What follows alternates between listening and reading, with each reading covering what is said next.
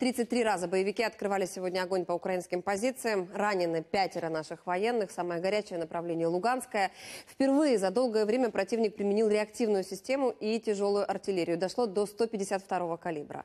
Как обстоят дела на Донецком направлении, узнаем от Игоря Левинка. Ось можете бачити з міномета. Ну, Це 120-й прилітає. Авдеевская промзона. Ни одна ночь здесь не проходит без боя. Свист пуль и выстрелы из гранатометов для этой местности уже повседневность. А вот сегодня оккупанты уж слишком активны. В 6 утра ударили еще из запрещенных калибров. Бой был интенсивный, длился, еще раз повторяюсь, час. Интенсивной стрельбы, интенсивного накрытия артиллерии, минометом. Десантники после беспокойного утра тщательно чистят оружие. Врага пришлось успокаивать. С утра противник открыл огонь из артиллерии, минометов, использовал весь арсенал стрелкового оружия. Наши десантники вынуждены были отвечать. Сделали они это эффективно. Теперь у врага на одно укрепление меньше. Один блиндаж боевиков сгорел. Армейцы уверяют, каждое движение врага не остается незамеченным. Наемники бьют из минометов и получают достойный ответ. Беспокоят и вражеские снайперы.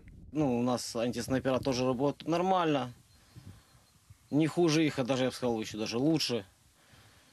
Так что боремся не тоже в силах своих, своих возможностей, а даже выше. В минуты затишья бойцы занимаются хозяйством. Пора весенняя, время обрабатывать огород. Тут мы выращиваем картоплю.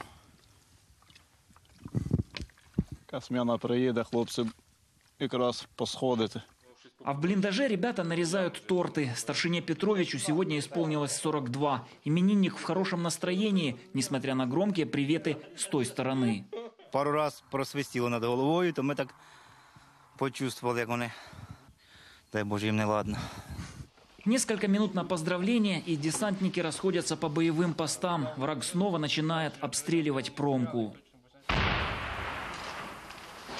Армейцы сопровождают нас в безопасное место.